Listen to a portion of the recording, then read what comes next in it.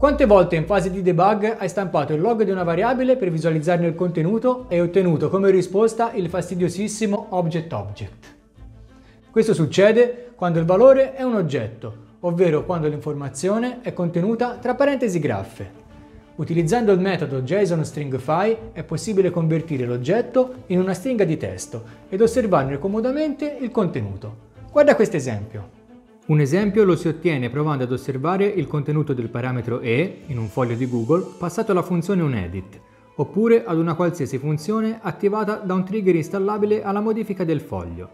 Mostro per semplicità il primo caso, mentre il funzionamento del secondo, insieme ad un altro importante attivatore, sarà oggetto della prossima pillola di AppScript. Tornando al nostro esempio, questa funzione viene eseguita in modo automatico alla modifica del contenuto di una cella. Il parametro E contiene informazioni sul contesto che ha causato l'attivazione del trigger, come ad esempio il valore presente prima della modifica. Se provo a visualizzarne il contenuto nel log, ottengo appunto un risultato non leggibile. Questo tipo di risposta può essere trasformata in stringa tramite il metodo JSON-StringFi e convertita in un formato che consente di leggerne il contenuto. Ovviamente vale in questa come in qualsiasi altra situazione in cui ci troviamo in output un valore nel formato object-object.